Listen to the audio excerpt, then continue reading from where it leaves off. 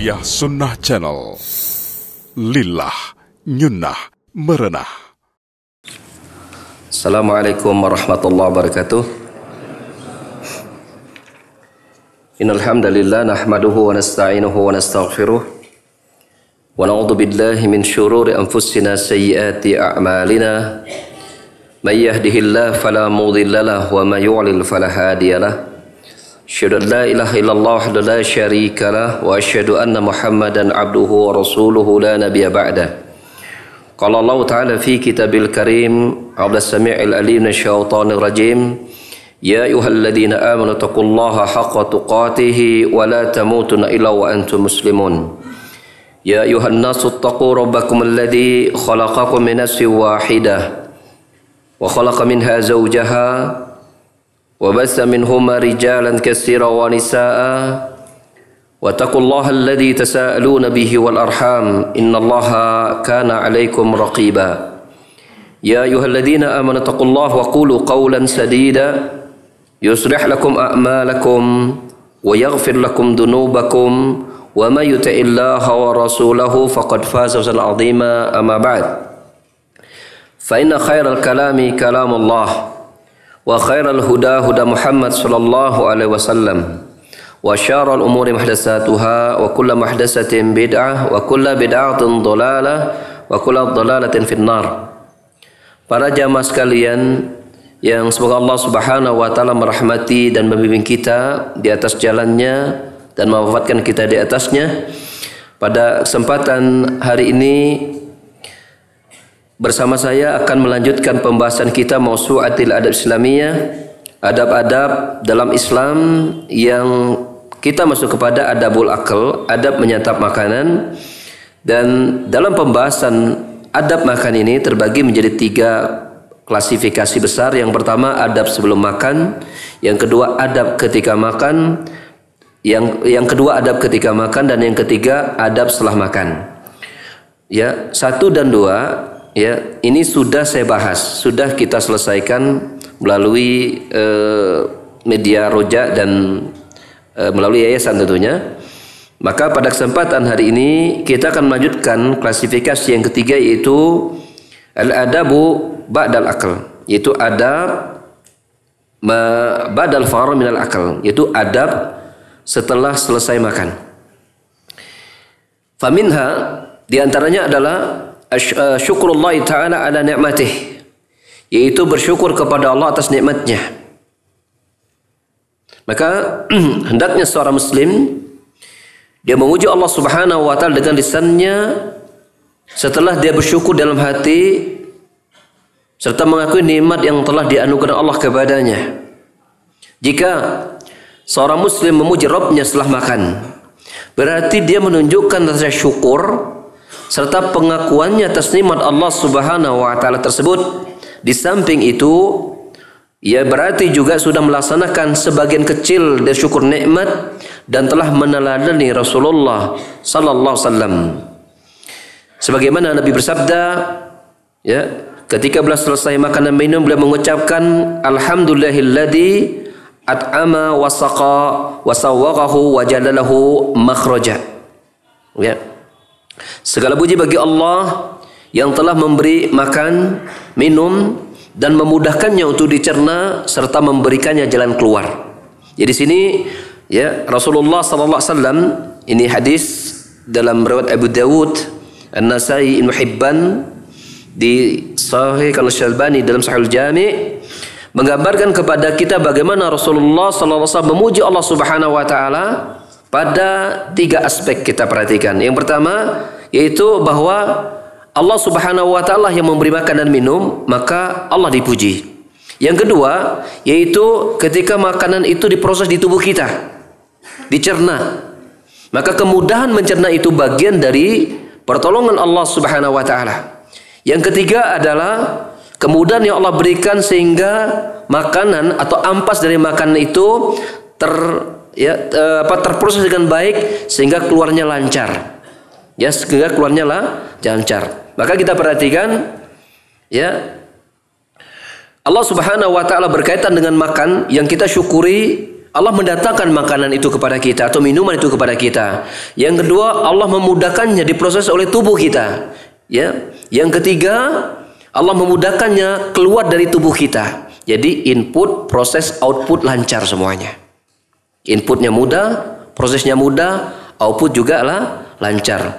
Bila satu saja dari tiga proses itu terhambat, maka kita pasti sudah akan merasakan beratnya apa yang kita hadapi? Tidak maunya makanan repot. Ada makanan susah ditelan repot. Ada makanan sudah dimakan susah keluar juga re repot. Tiga-tiganya bisa memberikan efek besar kepada pikiran dan tubuh kita. Maka Rasulullah SAW mengajarkan kepada kita untuk bersyukur pada tiga aspek tadi. Alhamdulillahilladzi a'lama wasaqa wasawaghahu wa jalalahu makhraja. Demikian juga Rasulullah sallallahu alaihi wasallam juga mengucapkan ucapan-ucapan syukur kepada Allah selesai makan dengan ucapan alhamdulillah hamdan katsiran tayyiban mubarakan fih alhamdulillahilladzi kafana wa arwana ghara makfin wala makfurin wala muwadda'in wala mustanna anhu rabbana yang artinya segala puji bagi Allah dengan pujian yang melimpah dengan pujian yang baik dengan pujian yang mengandung keberkahan Segala puji pula bagi Allah yang telah mencukupkan dan melekas dan melepaskan dahaga kami yang senantiasa itu dibutuhkan. Dia tidak menahan anugerahnya ya dan segala puji bagi Allah yang tetap diperlukan dan tidak dapat ditinggalkan wahai kami. Di sini para ulama menjelaskan makna Alhamdulilladzi kafana arwa arwana ghaira makfi. Segala puji bagi Allah Subhanahu wa taala ya yang telah mencukupkan dan melepaskan dahaga, dahaga kami ghaira makfiin makna ghaira makfiin artinya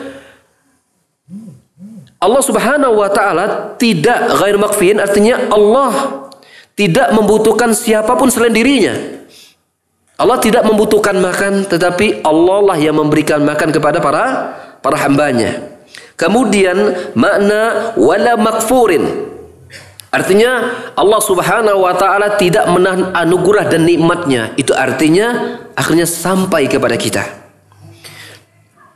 Adalah Nabi wasallam. Tatkala beliau disuguhkan di hadapannya makanan, maka beliau membaca bismillah, kana idza aqraba ilaihi ta'amun qala bismillah. Faida farqa dan ketika selesai menyantap makanan beliau mengucapkan Allahumma innaka at'amta wa asqaita wa aghnaita wa aqnaita wa hadaita wa ijtabaita Allahumma falakal hamdu ala ma ataita. Saya terus terang belum hafal nih doa, terus terang. Tapi tetap saya bacakan, mudah-mudahan ke depan kita bisa hafalkan semua. Ternyata doa habis makan tuh bukan saja panjang, banyak. Ingat tuh yang barusan saya bacakan. Saya emang ngaku jujur belum hafal nih di doa. Allahumma innaka amta matak dibacakan ku saya ya. Data hafal. jujur. Allahumma innaka amta wa wa agnaita wa aqnaita. Saya mau tanya sama jamaah, saya tak hafal. Yang hafal ngacung dapat hadiah dari saya. Saat ini juga. Ngacung. Berani nantang dah, tidak hafal, tanya no hafal. Betul apa tidak? Suri ya tuh. Benar ya? Sepakat ya nggak ada yang hafal ya? Baik. Enggak apa-apa nggak hafal. Tapi kita coba belajar makna terkandung terkandung dari doa tersebut. Mudah-mudahan bisa menambah apa yang kita sebut dengan usaha kita untuk bersyukur kepada Allah Subhanahu wa taala selesai makan. Oke? Sepakat? Baik. Allahumma innaka amta wa asqaita. Ya Allah, Engkaulah yang telah memberi makan dan minum wa aghnaita wa aqnaita wa hadaita wa istabaita. Allah. Empat ya. Tadi yang pertama sudah. Engkau yang telah memberikan makan minum ditambah lagi empat. Ya. Aghnaita aqnaita hadaita wa istabaita. Apa arti yang empat itu? Ya. Aghnaita artinya engkaulah yang telah memberikan kecukupan. Waknaita engkaulah yang memberikan kita ini kona'ah jadi bisa kona itu pemberian dari Allah Subhanahu wa taala, termasuk kona'ah dengan makanan yang kita kok konsumsi yang kita hadapi. Masya Allah, ini makanan luar biasa konaah kita. Naon laukna daging. Oh, Masya Allah, konaah jeung daging. Ya, daging asin maksudnya teh. Wahadaita, engkaulah yang memberikan petunjuk, wasabaita dan engkaulah yang memilikan. Mungkin muncul pertanyaan kita, wahadaita, engkaulah yang telah memberikan petunjuk, apa hubungannya dengan makan? Ya, dan ini saya nggak mau tanya, nggak mau nantang, khawatir ada yang benar jawabannya. Wahadaita, kita lihat sesungguhnya para ulama Membagi hidayah itu ada beberapa tahapan. Yang pertama ada hidayah amah, hidayah sepanjang umum. Ini Allah berikan kepada seluruh manusia bahkan hayawan. Bentuknya apa? Allah berikan petunjuk mereka untuk bisa bertahan hidup. Maka kita dapati anak buaya melahirkannya di daratan. Betul kan? Melahirnya di di daratan. Ya, ya buaya darat lah mungkin. Hmm, kayak siapa ya? Tapi lihat, ketika telur menetas di daratan, itu anak buaya ke mana? Hah?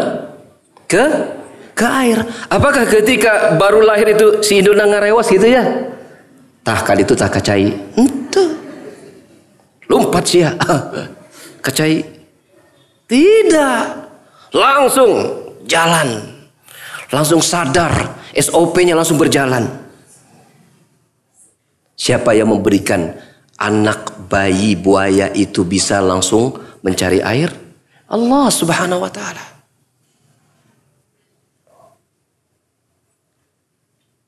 Tanyakan ke ibu-ibu ketika baru melahirkan si bayinya kan ngenyot tuh. Ada nggak si emak-emak itu ngajar, nak ngenyotnya yang bagus ya? Enggak. Si bayi itu langsung tahu cara ngenyot yang membuat dia kenyang ibunya ya merasa nyaman. Itu hidayah dari Allah Subhanahu wa taala. Maka kita mendapatkan makan dan minum itu pun bagian dari hidayah Allah Subhanahu wa taala. Maka wahadaita engkau yang telah memberikannya petunjuk ya Allah wajtabaita engkau yang telah memilikannya ya Allah. Allahumma falakal hamdu ala ma maka segala pujimu ya Allah atas anugerah yang telah engkau berikan. Hadis yang lain yang mengajarkan kepada kita doa selesai makan adalah sabda Rasulullah sallallahu alaihi wasallam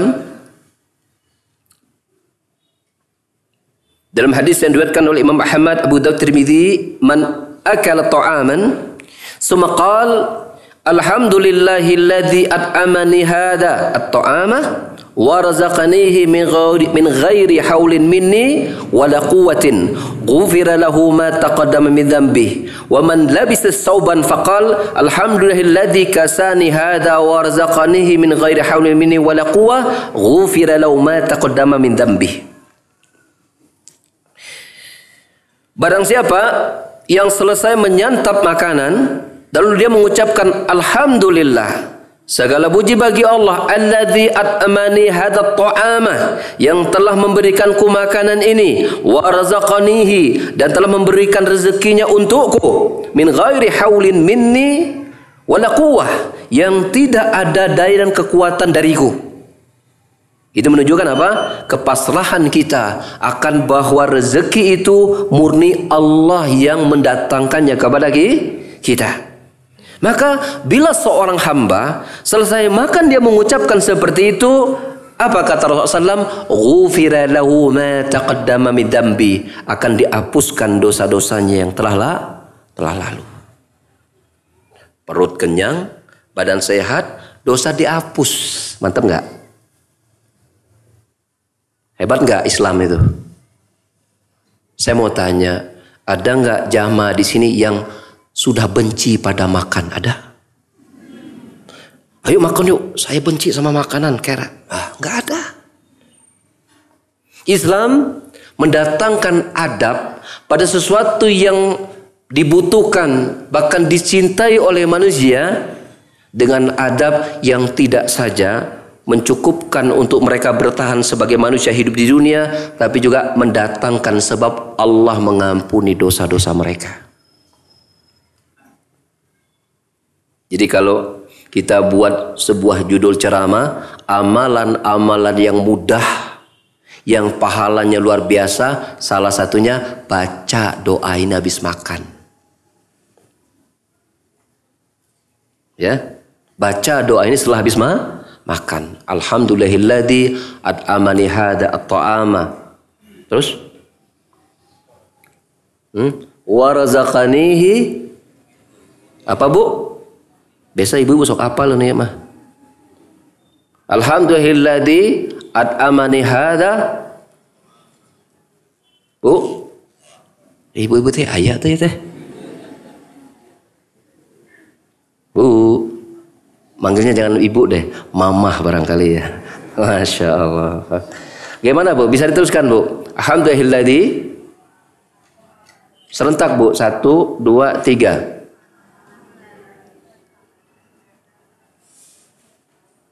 Min ghairi haulin minni wala quwwah.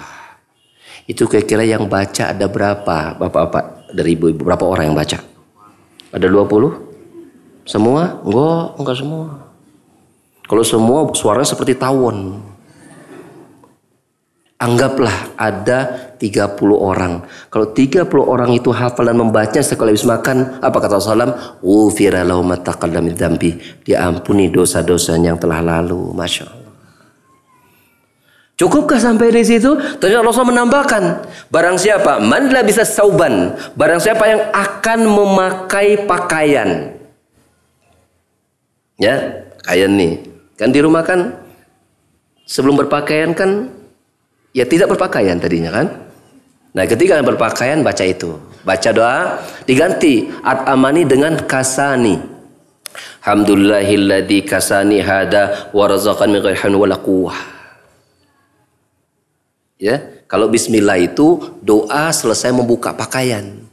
Kalau makan bismillah sebelum makan, itu bedanya. Itu itu bedanya. Sebelum makan kita baca bismillah, tapi kalau bis, kalau dalam berpakaian bismillahnya selesai ketika dibuka. Ucapkan bismillah. Tapi ketika akan dipakai alhamdulillah dulu. Alhamdulillah dulu dulu dapat pakaian.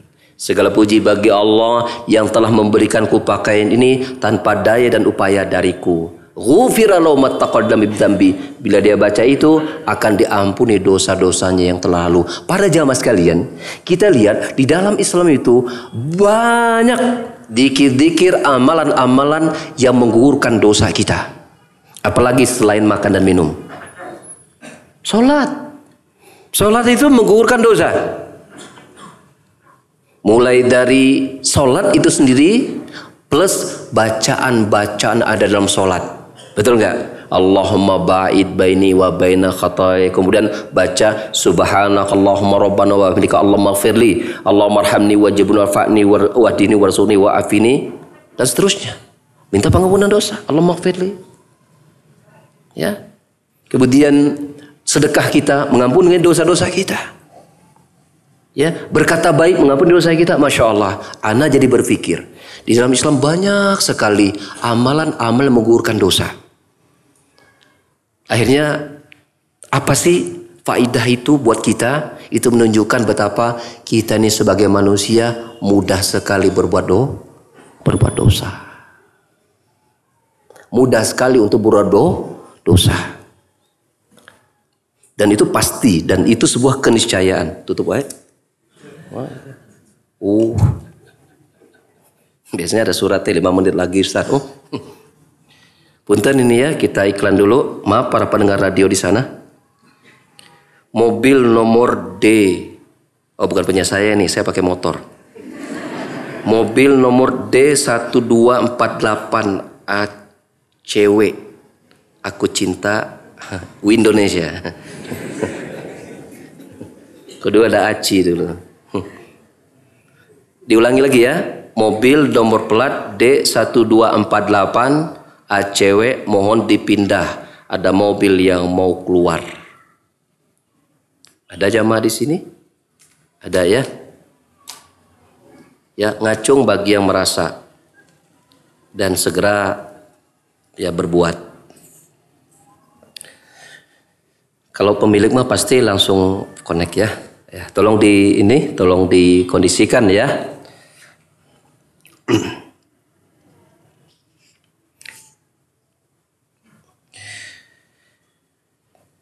Ya, berkata penulis berikutnya, pujian seorang hamba yang ditujukan kepada Allah Subhanahu wa taala merupakan salah satu penyebab ridhonya Allah Subhanahu wa taala kepada dirinya. Berdasarkan sabda Rasulullah sallallahu alaihi wasallam, "Innallaha la yarda 'anil 'abdi an ya'kula al-aklata fayahmadahu 'alaiha aw yashraba al-syarbata fayahmadahu 'alaiha." Rawahu Muslim.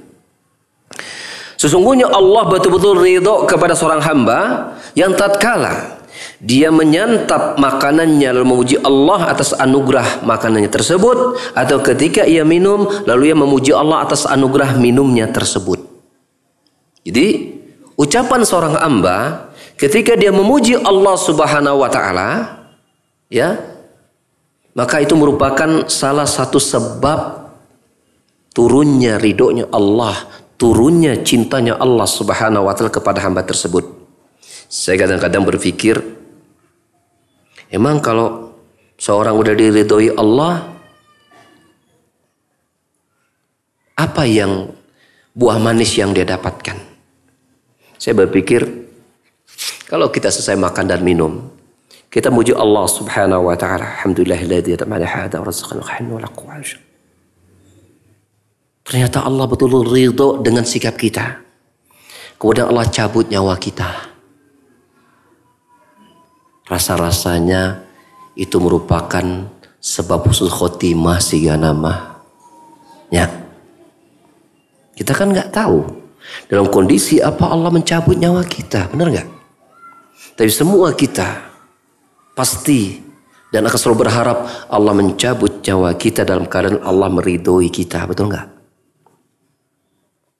Maka ini merupakan peluang yang sangat besar dan berharga buat kita untuk meraih ridhonya Allah Subhanahu wa taala dengan apa? Menyibukkan lisan kita setiap kali kita makan dan minum mengucapkan alhamdulillah.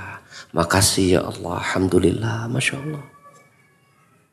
Ya, itu sedikit perenungan dari saya ya. Apa sih kemudian kalau ridho? Oh, masya Allah. Ya kalau cabut nyawa mudah-mudahan Allah masukin kita ke surga dengan keriduannya. Amin. Kemudian di antara adab selama makan adalah doa li sahibit ta'am. Mendoakan orang yang menjamuknya. Dan ini merupakan uh, adab seorang muslim ke, uh, sesama sesama hamba ya. Tadi dia kepada Allah bersyukur kepada Allah Subhanahu wa taala makanan tersebut. Bila kemudian dia ternyata Allah mudahkan mendapatkan makanan dari manusia yang menghantarkan dia kepada dirinya dengan Allah Subhanahu wa taala, maka dia pun mendoakan ya sebagai bentuk bersyukurnya kepada Allah Subhanahu wa taala.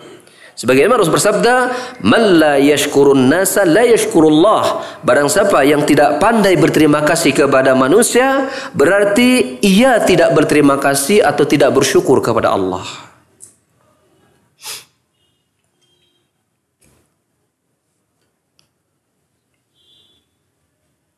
Nabi SAW pernah makan di rumah beberapa sahabatnya. Selesai makan beliau mengucapkan akala ta'amukumul abrar wa salat alaikumul malaika wa aftara indakum as-saimun. Semoga orang-orang yang baiklah yang memakan makananmu dan semoga malaikat mendoakan agar kau mendapatkan rahmat dan semoga orang-orang berpuasa itu berbuka di sisimu.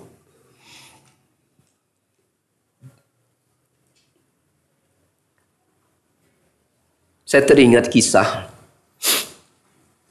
tentang Al-Imam Asy-Syafi'i rahimahullah taala. Terkenal akan keilmuan, kewaraan, kefakihan dan keutamanya Imam Syafi'i rahimahullah taala. Suatu waktu Al-Imam Syafi'i rahimahullah taala itu menginap di rumah Imam Ahmad bin Hambal.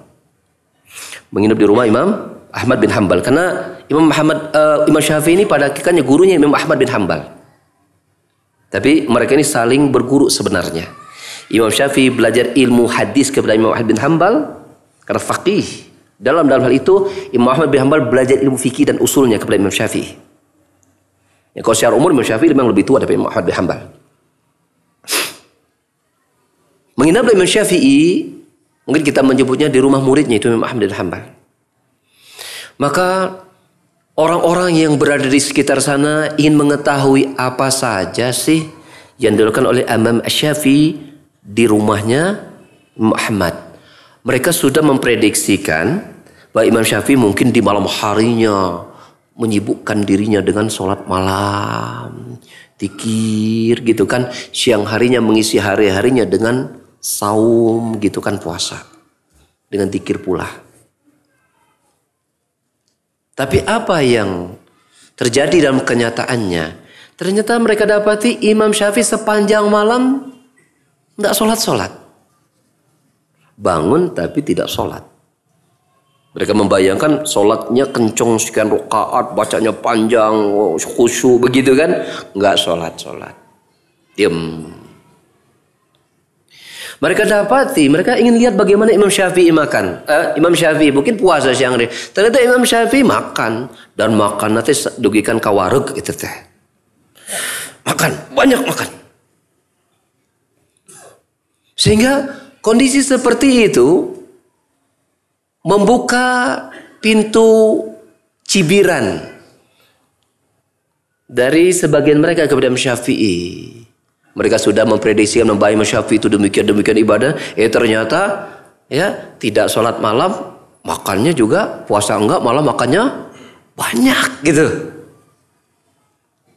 Kalau di kita dicurigai begitu mah wajar ya. Tapi untuk sekali Imam Syafi'i aneh. Gitu kan? Maka kemudian Penasaran mereka dan menyampaikan kepada Imam Ahmad bin Hambal. Imam Ahmad kemudian menanyakan kepada Imam Syafi'i. Ya, maka Imam Syafi'i berkata, Adapun aku, ya saya lupa lupa apa Imam Ahmad bertanya, tapi ada yang bertanya pada Imam Syafi'i Afan. Tak anaknya Imam Ahmad atau siapa begitu. Imam Syafi'i, maka Imam Syafi'i berkata begini, Adapun aku tidak tidur semalaman dan tidak sholat, karena aku sedang mengambil faedah sebuah hadis Nabi Sallallahu Alaihi Wasallam. Ya disebutkan itu hadis Nabi Sallam itu hadis ya ketika Rasul bertemu dengan seorang anak kecil bernama Abu Umair, Aba Umair, namanya Aba Umair, bukan Aba Umar ya. Abu Umair. Ya. Abu Umair ini punya burung hewan yang hidup di sangkar. Maka kita bertemu di jalan, Rasulullah, ini hadis sahih, bertanya kepada Abu Umar, anak kecil. Ya, kalau nggak salah nama aslinya itu Umar bin Abi Salamah. Anaknya Abu Salamah, kemudian ibunya dinikah oleh Rasulullah namanya Ummu Salamah. Namanya Umar. Dipanggil Abu Umar. Ketemu di jalan, Rasul berkata gini, Ya Aba Umair, ma fa'lan Nughir. Nughir itu nama burung peliharaan Abu Umair. Maka Imam Syafi'i tidak tidur semalaman hanya ingin mengurai faidah dari hadis tersebut dan disebutkan itu hampir 100 atau lebih dari 100 faidah dari satu hadis tadi dalam satu malam. Uh, kita kalau nggak tidur semalaman banyak sebab. Yang jelas pasti tidak baca hadis. Betul nggak? Kalau kita tidak tidur semalaman banyak sebab. Yang jelas sebabnya bukan seperti sebabnya Imam Syafi'i tidak tidur. Yaitu apa? Mengurai satu hadis melahirkan puluhan bahkan ratusan faidah satu hadis. Adapun makananku sangat banyak. Kata Imam Syafi'i, aku tidak dapati makanan yang paling halal kecuali makanan di rumahnya Imam Ahmad bin Hambal dan aku ingin memenuhi perutku dan tenagaku dengan sesuatu yang halal. Lihat fikihnya para ulama. Jadi tidak sembarangan dalam berbuat semuanya ada ada alasan yang syar'i yang menguatkan ketaatan dan keimanan mereka kepada Allah Jalla wa'ala. Ya. Maka Rasulullah SAW mengajarkan apa? Akala ta'amukum ala Semoga makanan imu ini disantap oleh orang-orang yang soleh Berarti Rasulullah mendoakan kan? Mendoakan umatnya agar makanan-makanan mereka itu disantap oleh orang-orang yang soleh.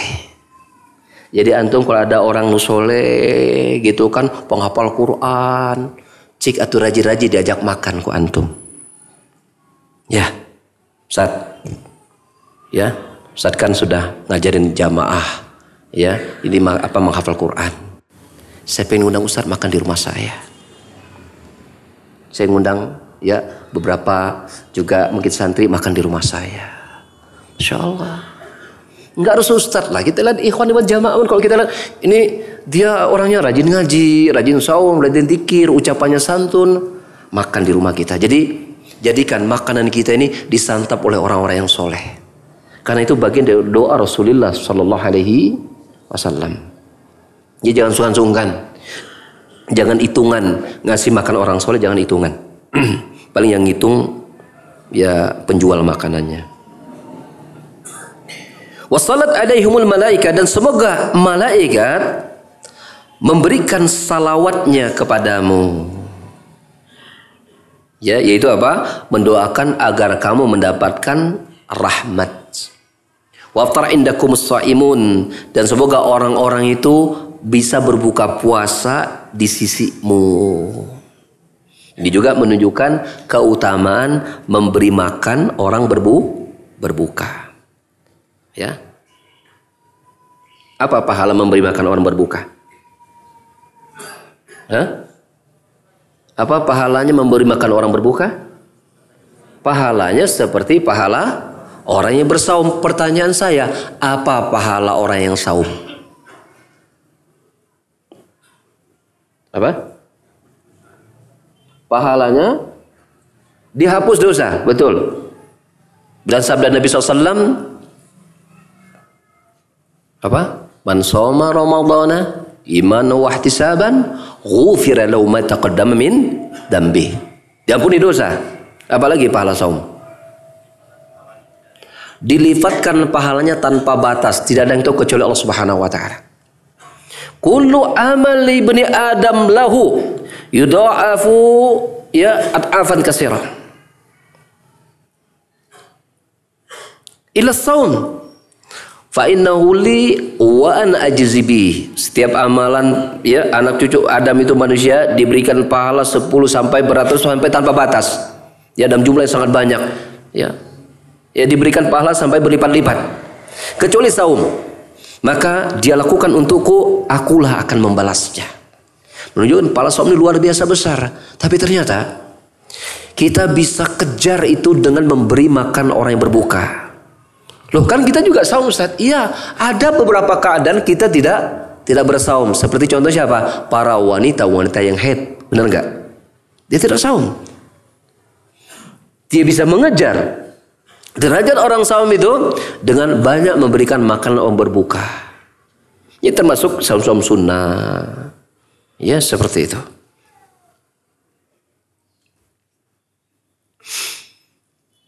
Ya ini adab yang kedua selama eh, selesai makan adalah mendoakan orang yang menjamu kita. Dengan tiga doa itu gitu kan. Dengan doa semoga akalat ta'amukum atau ta'amukum ala abrar wassalat alaik alaikumul malaika ya wasamat ya as-saimun indakum. Yang ketiga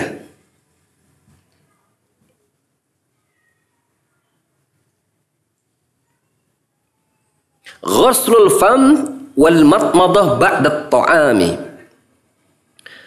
Mencuci mulut dan berkumur-kumur setelah makan Wadhalika li fi'lin Nabi sallallahu alaihi wasallam yang itu merupakan perbuatan Nabi sallallahu alaihi wasallam yang dasarnya An Suwaid bin An-Nu'man.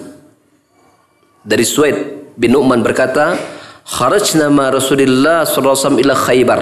Kami pernah keluar pergi bersama Rasulullah SAW menuju Khaybar. Falamma kana bi sahbai da'a bi ta'am. Ketika sampai di daerah Sahba maka beliau minta agar disuguhkan makanan. Fama ata illa bi suwaiq dan tidaklah disuguhkan makanan kecuali hanya berupa suwaiq yaitu roti gandum. Fa'akalna. Maka kami pun makan. Ya.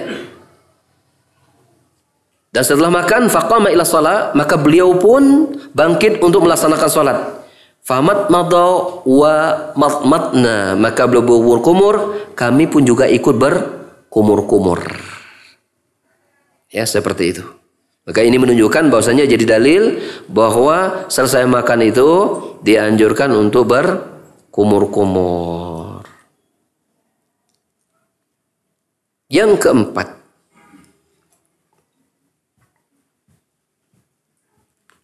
takhlilul asnan, menggosok-gosok gigi. Kalau takhlil itu kalau untuk jenggot artinya menyelai-nyelai jenggot. Ya takhlilul lihya menyelai-nyelai jenggot. Kalau gigi mana diselai. Gigi berarti ya gosok gigi berarti. Ya membersihkan gigi.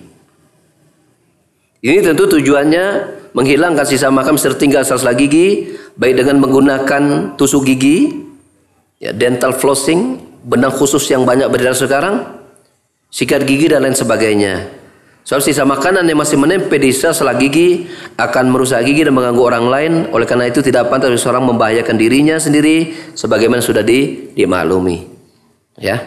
Di Syekh memang tidak menyebutkan dalil secara khusus tentang habis makan langsung gigi tetapi ini tentu bagian dari tujuh rubah penelitian, pengalaman dan itu merupakan adab yang baik yang baik. Apatah lagi sebenarnya bila kita berbicara tentang mengusuk gigi itu, seorang muslim itu bila dia benar melaksanakan sabda Nabi SAW itu gosok giginya itu minimal 10 kali. Minimal 10 10 kali. Yaitu ketika berwudu dan kedua ketika akan sholat. Gosok gigi yang digunakan itu kan adalah siwak. Ya, siwak itu kayu ud begitu kan siwak. Maka Rasul bersabda, ini hadisnya dua-duanya Bukhari Muslim. Laula an ala ummati la amartum bisiwaki ma kulli wudu. Kalau seandainya aku tidak memberatkan umatku, aku akan perintahkan mereka untuk senantiasa bersiwak setiap kali akan berwudu.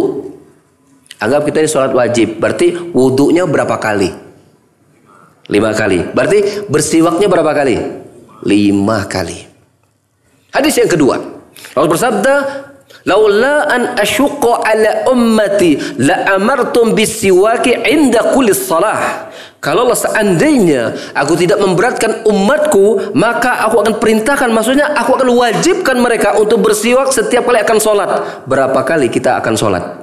Minimal lima kali. Berarti berwudu akan berwudu sudah bersiwak. Selesai wudu Ketika kita masuk masjid atau di posisi akan sholat, kita bersiwak lagi, ambil lagi siwak itu. Berarti berapa kali? Sepuluh kali dalam satu hari. Kan kalau promosi-promosi dari perusahaan pasta gigi itu kan gosok gigi ikannya berapa? Gosok giginya dua kali sebelum tidur dan bangun tidur. Siangnya tidak ada ke sana harus gosok gigi. Dalam Islam itu apa? Lima waktu dijaga kebersihan giginya. Masalahnya adalah kita tidak terbiasa bawa ut gitu sikat gigi ke mana-mana. Masalahnya begitu. Kalau sekarang kita kita anggaplah kita proyeksikan ut itu dengan sikat gigi dan odolnya atau ke mana-mana bawa sikat gigi dan odol teh.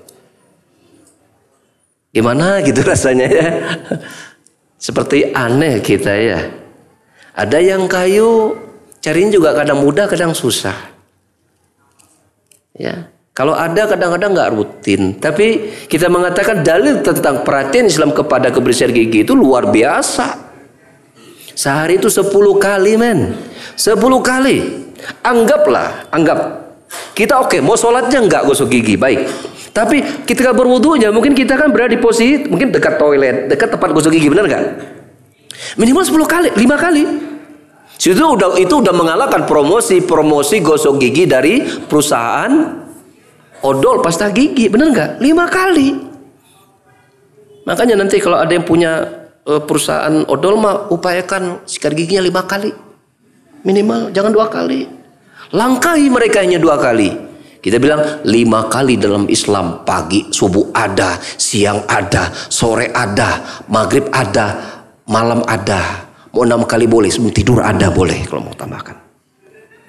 Sehingga artinya kita lihat bagaimana Islam itu memperhatikan apa kebersihan gigi. Saya mau tanya, sunnah ud itu berapa? E, kita bersiwak itu, itu tetap kita lakukan nggak ketika kita puasa? Kita nggak? Berarti tidak ada makanan yang masuk ke kita kan? Tapi tetap gigi itu harus selalu digosok. Kalau kita ambil logika kita berarti membersihkan gigi itu adalah itu tiap waktu sebenarnya. Subuh iya, tar siang dikit gosok gigi lagi. Cuman masalahnya adalah odol yang kita pakai itu aman tidak fluoride-nya ya, namanya fluoride gitu ya. Susah nyebutnya. Fluoride, ya fluoride mungkin ya. Tulisannya kan fluoride gitu ya. Itu ada sebagian saya baca itu kalau terlalu sering itu bisa malah merusak ketahanan gigi. Oke, kita anggaplah misalnya kita pakai ud yang aman. Kayu ud itu ada hadis Nabi SAW kan jelas sahih dan itu aman buat gigi. Maka sesungguhnya itu tidak ada kaitannya dengan makan yang kita masuk. Buktinya orang saum tetap disunahkan juga ber, bersiwak. Kalau kita jeli memandang itu berarti perhatian kita kepada gigi itu memang harus super mestinya. Ya, secara teori begitu. Secara praktek begini. Lain biasanya. Nah, itu maksudnya saya ingin mengajak para jamaah tentang kita memetakan tentang apa? Membersihkan gigi ya. Hanya saja memang ketika kita membahas tentang makan memang itu tentu, tentu lebih ditekankan kembali untuk kita ber apa bersiwak ya. Masuk gigi seperti itu. Kemudian adab yang berikutnya adalah ghuslul yadain, mencuci kedua tangan. untuk membersihkan bekas dan bau makanan tentunya, terutama jika hendak tidur. Nabi wasallam bersabda, "Man bata wa fi yadihi ghamar wa lam yasilhu fa asabu syai' fala yalumanna ila nafsah." Barang siapa yang tidur sementara tangannya masih bau makanan dan belum dicucinya, lalu ia terkena sesuatu, maka janganlah ia mencela kecuali dirinya sendiri mencuci ta tangan. Ini secara jelas menunjukkan kepada kita dan kita sudah bahas pada pembahasan kita tentang adab nyata makanan bagaimana betul-betul disunahkan makan itu menggunakan jari. Jari tangan loh ya, bukan jari garpu. Tangan. Dan saya sempat nanya ke jamaah waktu saya ngisi minggu lalu di di Al itu ada enzim amilase yang ada di tangan kita itu ketika makan itu dan mungkin nggak makan juga ada ya. Enzim amilase itu ya saya sedih sempat belajar biologi waktu SMA jadi enzim amilase itu dia berfungsi sebagai zat pengurai. Jadi ketika kita makan dan menggunakan tangan maka makanan yang tertempel oleh tangan kita dan enzim itu ada di tangan kita maka itu akan mempercepat proses penghancuran makanan di tubuh kita. Ada enzim amilase. Saya berani bilang amilase karena nanya ke jamaah amilase Tadinya saya pikir apa etalase gitu kan, pokok ada sese. Amilase namanya. Ini pelajaran buat anak SMA biologi ya. Enzim amilase. Kemudian yang ketujuh, nah ini nih adab yang bisa jadi jadi kebiasaan kita dan ternyata menurut sunnah ini ya nggak pas juga. Itu apa? Adabu adamu italatil julus ba'da ta'am tidak duduk berlama-lama setelah makan. Ha. Di kita kayaknya mah kalau duduk habis makan gak lama kayaknya nggak paket gitu ya gitu. Makanya mah sebentar 10 menit habis duduknya bisa satu jam. Belum lagi ada kopi, ada kue, makannya sepiring, kuenya dua piring, ya dua jam, tiga jam. Bahkan sudah dijadikan tren sekarang gitu kan, duduk nongkrong nangkring, ya lama eh, lila lama lami, gitu ya, seperti itu. Didasarkan pada sabda atau firman Allah Subhanahu wa taala, "Faida ta'imtum fantashiru." Apabila kamu selesai makan, maka bertebarlah kalian. Ini perintah Allah. Ya, ini perintah Allah Subhanahu wa taala. Kecuali tentunya dalam situasi tertentu kadang seseorang selesai makan itu mungkin ada rapat, ya enggak apa-apa. Itu bagian dari mungkin apa?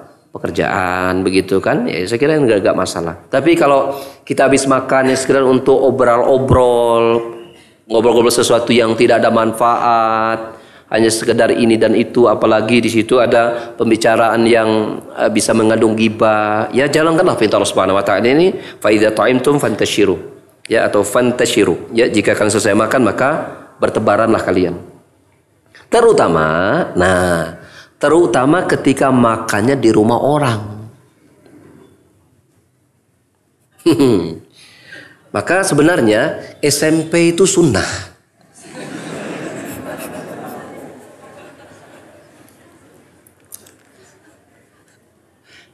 Apa SMP? Setelah makan, pulang. Sekarang meningkat jadi SMA. Selesai makan, angkat. Atau SMI setelah makan indit. Sunnah ya ikhwan. Kalau kita kan kadang nggak enak, masa habis makan langsung pulang. Justru sunnahnya begitu. Rumah kalau orang habis makan pulang sudah.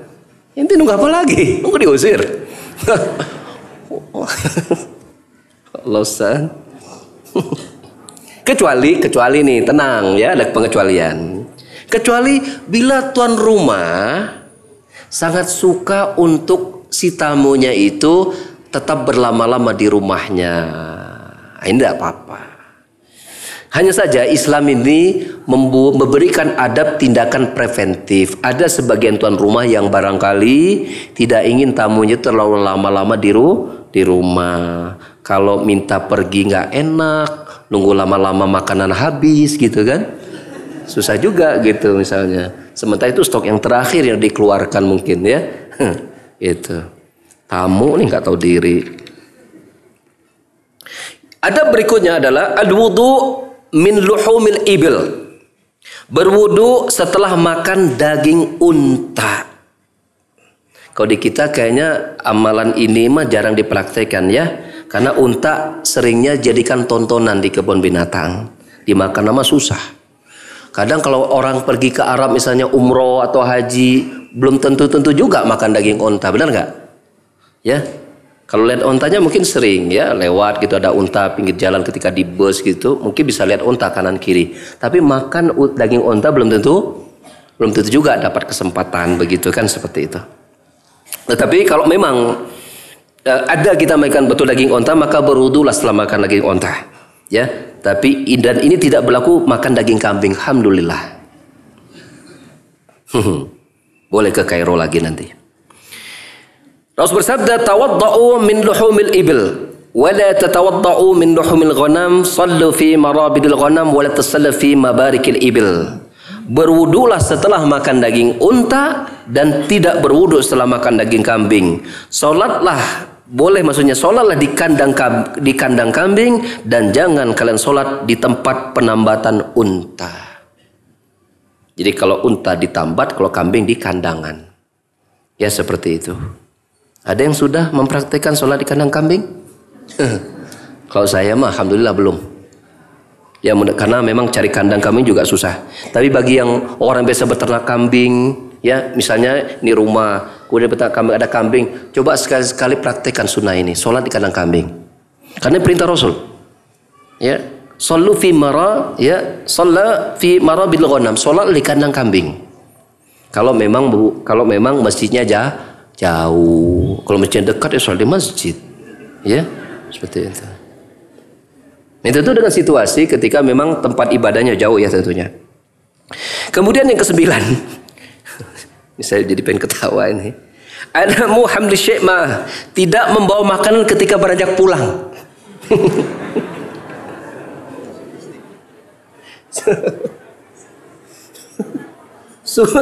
Susah nih jalan susah yang ini.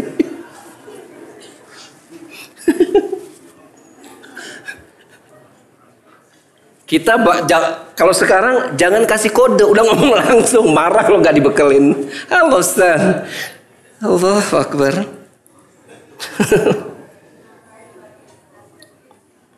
Tapi ternyata ada pengecualiannya. Tenang. kecuali bila tuan rumah mempersilahkan dan memberikannya sendiri. Tetapi ingat loh, ya, tetapi ingat, memang ini tidak ada larangan. Karena ini hanya bagian dari istiadat ulama, bagian dari adab. Namanya juga adab. Adab itu identik dengan etika. Ya, etika lah. Kalau kita ngebekal tuh seperti asa perasaan gimana begitu. Tetapi kalau ternyata tuan rumahnya mempersilahkan dan memberikannya sendiri, ya ditampilah dengan lapang dada, ya. Diterima dengan senang hati itu rezeki. Ya. Atau sebagian sebagian tuan rumah itu senang kalau diminta. Kan ada karakter tuan rumah itu kalau si tamunya datang berjeng, Anda boleh nggak bawa bekal? Oh senangnya luar biasa. Ya, maka datangnya aja sering orang-orang seperti itu. Masya Allah. Senang dia kalau diminta. Masya Allah. Ya luar biasa. Tapi ada sebagian orang maaf ya. Kadang-kadang hanya sekedar basi-basi baso. Enggak tuh dibawa. Tapi sambil kita udah dibawa, diskusi panjang di rumah sama bininya. Ketika soal tamunya sudah selesai pulang. Ya seperti itu. Jadi eh, ya kalau kita bisa membekalkan tamu kita bawa pulang makanan itu yang paling bagus. Ya. Dan kita yakin keluarga kita juga nggak masalah. Apalagi kalau tamu kita memang orang yang apa safar atau dia orang yang memang kali sedang uh, ya kayaknya perlu dihibur dengan makanan, ya kita bawakan ke dia apa makanan itu dibawa pulang ya. Kau perlu setrek. Kemudian satu adab lagi yang terakhir dan ini juga waktunya juga udah pas ya. Yaitu ada naum ba'dal akal mubasyaratan. Tidak langsung tidur setelah makan. Tapi di kita nggak nggak makan juga sok tidur wae. Termasuk di kajian Padahal paginya nggak sarapan, angger sare di kajian teh. فإن هذا من العادات السيئة ويسر تأثيرا ضارا القلب وغيره بل إنه قد يتسبب في موت الإنسان إذا اعتاد ذلك طوال عمره وقد ذكر بعض العلم أن على الإنسان أن يتمشى قليلا بعد الطعام ونقلوا ذلك عن جماعة من أهل العلم بالطب والصحيح أنه لا يلزم المشي بعد الطعام مباشرة بل لعله غير مرغوب لكنه كذلك لا ينهى بعد الأكل مباشرة Tidur setelah makan itu termasuk kebiasaan yang buruk memang serta dapat membahayakan kesehatan jantung dan yang lain-lainnya. Bahkan mungkin menjadi menjadi sebab kematian seseorang jika ia terbiasa melakukannya seumur hidupnya. Sebagian ulama menyebutkan bahwa sebaiknya berjalan-jalan dulu sebentar setelah makan dan ini pendapat didukil dari sebagian ahli medis, namun pada hakikatnya ini tidak mesti. Habis makan itu jalan-jalan dulu sebentar, tidak mesti. Ya, bahkan bisa jadi termasuk perkara yang tidak disukai bisa jadi. Tapi bahwa memang habis makan tidak langsung tidur ini termasuk adab yang ya adab yang harus kita perhatikan. Jadi habis makan jangan langsung ti, tidur. Ya, seperti itu. Dan masya Allah ini beberapa adab-adab eh, adab tentang perilaku kita selesai makan. Dan ini kita anggap selesai. Ya berkenaan masalah adab makan. Tetapi di sini penulis menambahkan sedikit tentang berkaitan dengan makanannya. Ya di sana adalah tidak makan bawang putih dan bawang merah sebelum sholat. Ya sebelum sholat sebelum sholat karena ini dapat menimbulkan bau yang tidak sedap dan jika ia pergi sholat ke masjid tentulah akan mengganggu jamaah masjid dan malaikat. Juga berarti yang melarang melanggar larangan Nabi SAW. Jadi jika ia ingin memakan keduanya maka makanlah setelah bawang tersebut dimasak karena bawang putih dan bawang merah yang sudah dimasak tidak menimbulkan bau yang tidak sedap. Dalil tentang hal itu Rasul bersabda, "Man akal sauman aw basalan fal ya'tazilna wal ya'tazil masjidana wal yaqud fi baitih. Barang siapa yang memakan bawang putih dan bawang merah, hendaknya ia menjauh dari kami dan menyingkir dari masjid kami, hendaknya ia duduk saja di rumahnya sendiri. Rasul juga bersabda, "Man akala min hadil baqlah as-sawm al-basal as-sawm al-basal wal kurras fala yaqrabanna fi masjid hadha fa innal malaikata tata'adza mimma tadamihu banu adam." Barang siapa yang memakan makanan bawang putih yang memakan bawang putih, bawang merah atau daun bawang, maka janganlah ia mendekati masjid kami sebab para malaikat juga merasa terganggu dengan sesuatu yang dapat mengganggu manusia. Apalagi kalau yang dikonsumsinya adalah cigarette. Ya, itu lebih-lebih lagi tidak boleh. Ya, apalagi rokok. Rokok itu jelas baunya luar biasa. Ya. Sehingga para ulama itu Hampir seluruh ulama-ulama itu merupakan mengharamkan rokok. Di kita saja beda. Kadang-kadang sebagian pandangan orang. Ya. Maka bagi para perokok yang masih merokok, janganlah merokok. Ya.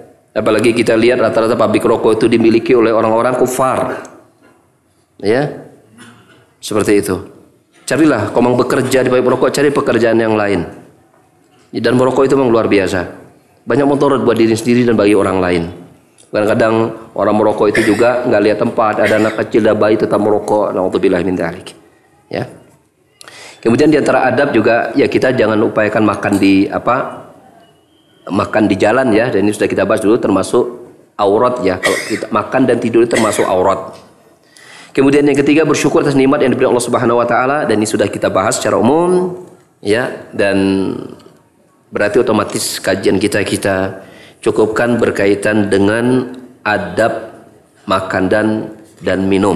Insya Allah bila takdirkan kita bisa bertemu kembali bersama kajian tabligh sunnah bersama saya, kita akan bahas akan bahas tentang adab al-imarah, adab pemerintahan.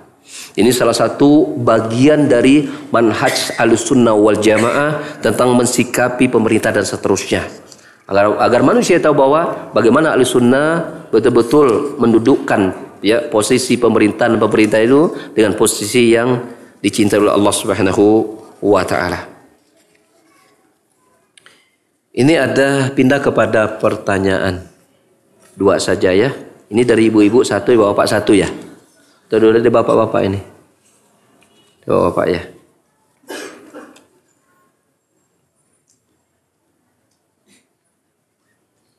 Ya bismillahirrahmanirrahim. Ada pertanyaan Ustaz ada teman yang sebelum makan selain baca bismillah dia mengucapkan banyak istighfar juga sebelumnya. Bagaimana dengan sesuatu yang dianggap baik namun tidak ada dalilnya bagaimana hukumnya? Soalnya ketika ditanyakan bilangnya tidak semuanya itu ada dalilnya.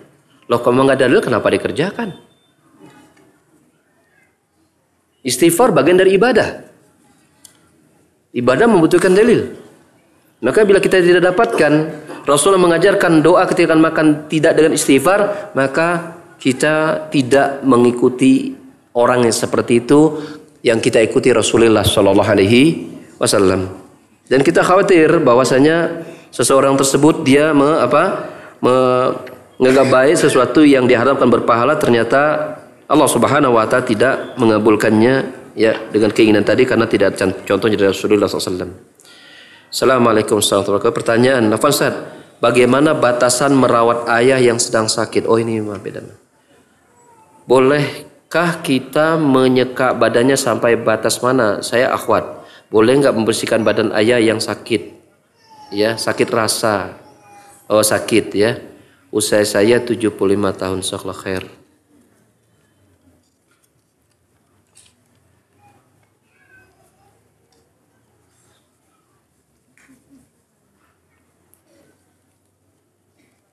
Pertanyaan saya begini, uh, kita coba balik ke pertanyaan, apa hukumnya seorang istri memandikan suaminya?